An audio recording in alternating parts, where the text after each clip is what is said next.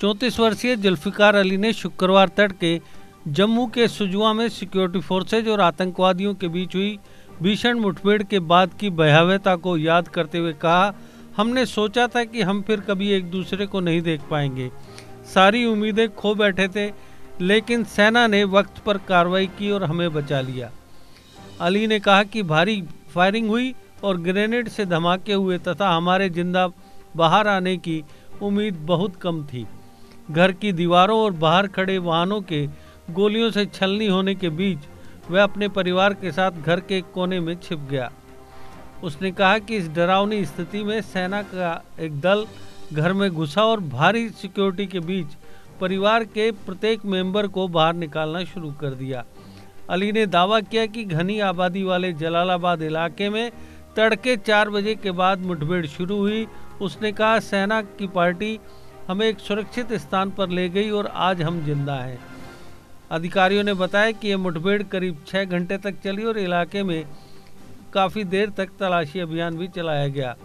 मुठभेड़ में दो आतंकवादी मारे गए और वे पाकिस्तान स्थित जैश मोहम्मद के फिदाइन दल का हिस्सा बताए जा रहे हैं। अली ने कहा, घर के आँगन में एक तेज धमाके से हम उठे। इसके बाद ऑटोमेटिक राइफल से गोलियाँ चलने तथा धमाकों की आवाज़ें आने लगी। एक अन्य निवासी मसरज हुसैन ने कहा, हम रमज़ान के महीने में रोज़े के दौरान सुबह के भोजन शहर के लिए उठे थे और जब फायरिंग और धमाकों की आवाज़ से दहल गए, उसने बताया कि दरवाजे और खिड़कियाँ बंद कर दी गई और बाहर से आ रही आवाज़ें डरावनी थी। अली ने कहा कि धमाके की आवाज़ से उठने के बाद उसने फ़ौरन मदद के लिए स्थानीय पुलिस थाना अधिकारी को फ़ोन किया। उन्होंने वक्त पर कार्रवाई की। उसने अपने घर की दीवारें दिखाते हुए कहा जिन पर गोलियों के निशान देखे जा सकते हैं। अली ने कहा, हमने ऐसा होते हुए कभी नहीं देखा। हम फिर से यह नहीं देखना चाहते।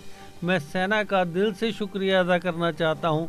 वे हमें घर से बाहर निकाल कर लाए। आतंकवादी सी के एक बस पर हमला करने के बाद जलालाबाद इलाके में घुस गए थे।